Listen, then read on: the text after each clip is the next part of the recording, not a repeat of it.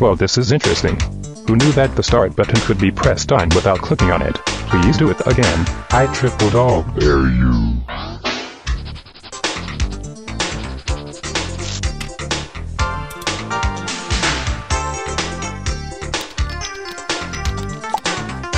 Oh, so you did do it again. I see, I see. Let me see here. Be gone. Ugh, I knew it. It's not the stupid computer, it's that no good worker. That's it. I had it. I am calling him right now.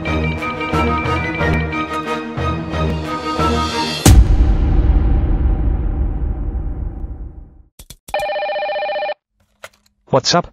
Aren't you at work, you idiot? Anyway, those see you in a bit. Cool. Whenever the start button gets clicked, the pranks to get stat. That's what I always say. You mean since now, right? Why aren't you working? I was heading to the bathroom. No, you weren't. Fine, I'm going back to work. No, you aren't. Hold on, what?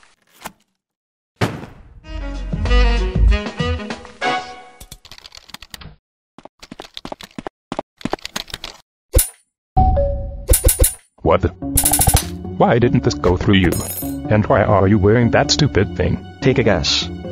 But you didn't even have that thing on when you came in here this morning. You didn't even have a briefcase to carry it in. Whatever, you'll see me again anyway. What now?